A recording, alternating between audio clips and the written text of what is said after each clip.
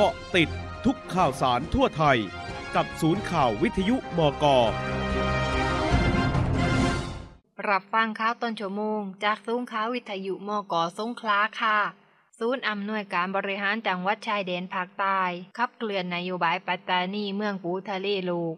นางสาวรัชดาธนาเดเรก รองโฆษกประจำสำนักนายกรัฐมนตรี ในฐานะผู้แทนพิเศษรัฐบาล ในการแก้ปัญหาจังหวัดชายแดนใต้เปิดเผยว่าพลเอกประยุทธ์จันโอชา นายกรัฐมนตรี และรัฐมนตรีว่าการกระทรวงกลาโหมมีความยินดีต่อความก้าวหน้าของนโยบาย ปัตตานีเมืองปูทะเลลูกขณะนี้ศูนย์อำนวยการบริหารจังหวัดชายแดนใต้ หรือซออบตได้เป็นหน่วยงานหลักในการขับเคลื่อนรวมกับกลุ่มประมง กระทรวงเกษตรและสหกรณ์มหาวิทยาลัยสงขลานครินทร์กรมทรัพยากรทางทะเลและชายฝั่งกระทรวงทรัพยากรธรรมชาติและสิ่งแวดล้อม สนับสนุนให้มีการจัดตั้งโรงเพาะฝักสัตว์น้ำณคณะวิทยาศาสตร์และเทคโนโลยี มหาวิทยาลัยสงขลานครินทร์วิทยาเขตปัตตานี มีความพร้อมจะเปิดดำเนินการอย่างเป็นทางการในวันที่ 19 ธันวาคม 2565 และพร้อมที่จะกระจายลูกปูจำนวน1แสนตัว แก่เกษตรกรในเดือนมกราคม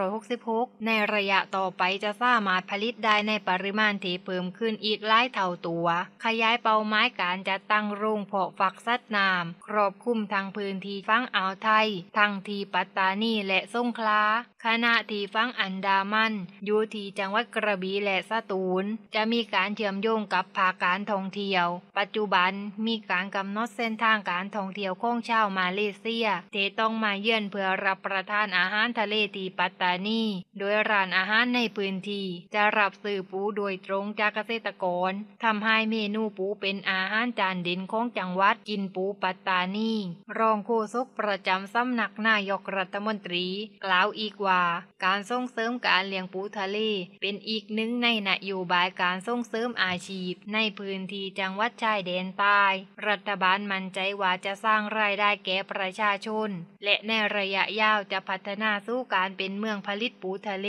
เพื่อการส่งออกได้อย่างแน่นอนขณะนี้มีกลุ่มเกษตรกรกว่า 35 กลุ่มรวมกว่า 700ครอบครัว ประชาชนที่สนใจสามารถสอบถามข้อมูลเพิ่มเติมได้ที่สออบอตอของสนับสนุน และสนับสนุนงานฝ่ายพลเรือน 073-274-471นับประพัดมณีแสงสูงค้าวิทยุมกสงคลารายงานค่ะ